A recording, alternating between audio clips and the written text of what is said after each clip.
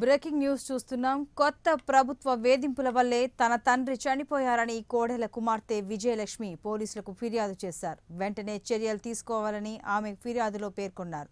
Political revenge కోసమే తన తండ్రి అన్నపై కేసులు పెట్టారని విజయలక్ష్మి చెప్పారు.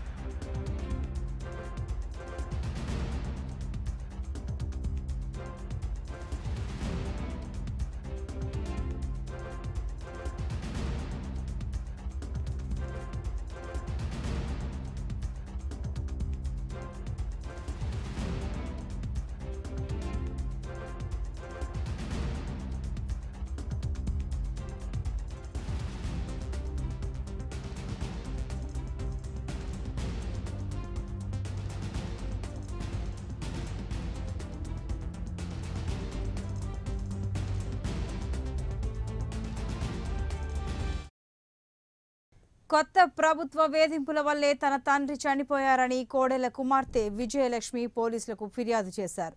వెంటనే చర్యలు తీసుకోవాలని ఆమె పేర్కొన్నారు.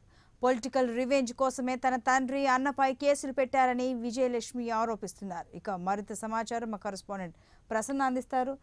ప్రసన్న కోడెల శివప్రసాదరావు వైసీపీ వేధింపుల వల్లే చనిపోయారని ఆయన కుమార్తె విజయలక్ష్మి పోలీసులకు ఫిర్యాదు చేశారు. వివరాలేంటి? ఆ ఫిర్యాదులు ఏం పేర్కొన్నారు?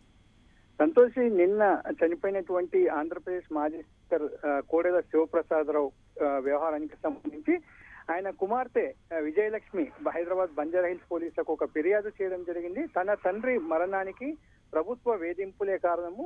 అదేవిధంగా ఆయన మంత్రిగా స్పీకర్గా స్పీకర్గా పనిచేసి ఆ తర్వాత ఏదైతే ఓడిపోయిన తర్వాత కొత్త ప్రభుత్వం ఏర్పాటైనటువంటి ఈ కొత్త ప్రభుత్వం తన తండ్రిని ఉద్దేశపూర్వకంగా వేధించారు. అదేవిధంగా తన తండ్రితో పాటు తన కుటుంబ సభ్యులపైన తనపైన తన సోదరుని పైన కేసులు పెట్టి తమను వేధించారు. ఈ వేధింపులు తాళలేకనే తన తండ్రి బలవన్మరణానికి కారణమయ్యారు. తన తండ్రి మరణానికి కారణమైనటువంటి వాళ్ళపైన చర్యలు తీసుకోవాలి అంటూ విజయలక్ష్మి బంజారాహిల్స్ పోలీసులకు ఫిర్యాదు చేయడం జరిగింది. అయితే ఈ ఫిర్యాదును కూడా పోలీసులు స్వీకరించిన తర్వాత ఏదైతే ఈ కేసులో ఎలా ముందుకు వెళ్ళాలి అనేటువంటి న్యాయ సలహా తీసుకున్న తర్వాత కొద్దిసేపటి క్రితమే కేసు రిజిస్టర్ కూడా చేయడం జరిగింది ఎఫ్ఐఆర్ చేశారు.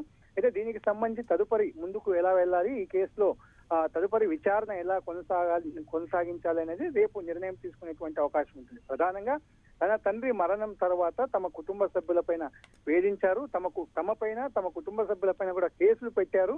ఇదంతా కూడా ఒక కక్షపూరితమైనటువంటి దాంట్లోనే భాగంగానే ఆమె పేర్కొనడం జరిగింది. దీనికి సంబంధించి అన్ని రకాల చర్యలు తీసుకోవాలి.